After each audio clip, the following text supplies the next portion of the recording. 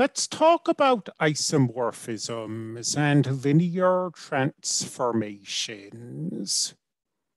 So let's say we have two finite dimensional vector spaces, an n-dimensional vector space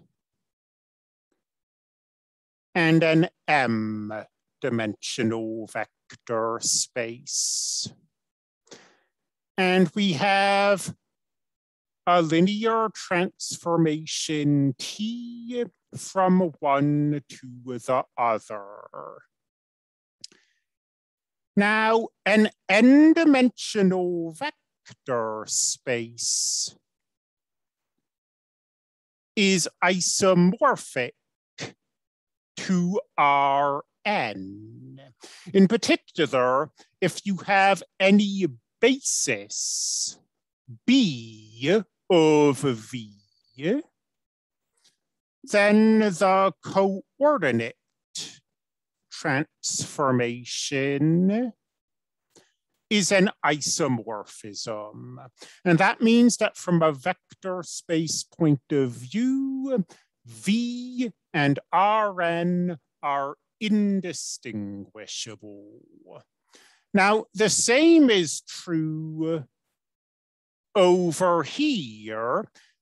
W is isomorphic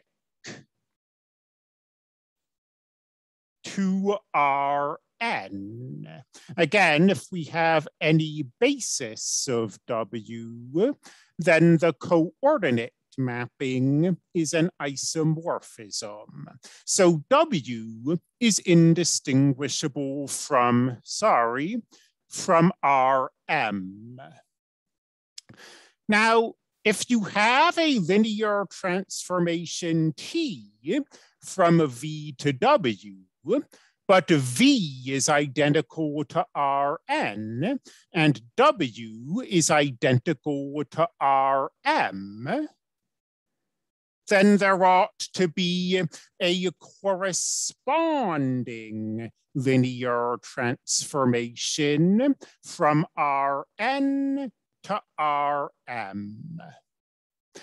What could that linear transformation be? Well, let's say you have a vector up here it's sent to a vector here.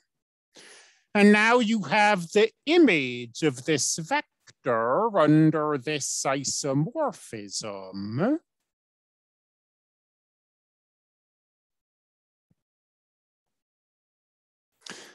And you have the image of this vector under this isomorphism.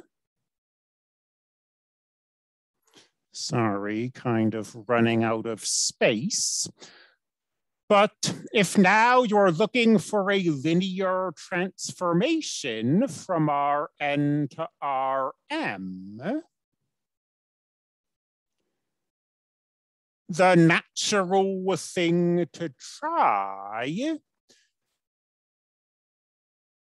would be to map the coordinate vector of V with respect to B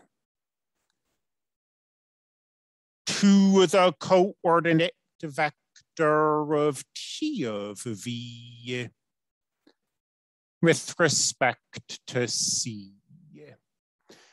And this is a linear transformation.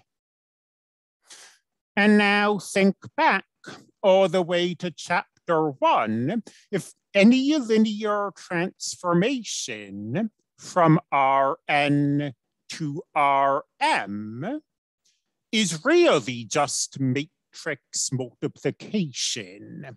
Every linear transformation from Rn to Rm has a matrix associated with it the matrix of the linear transformation.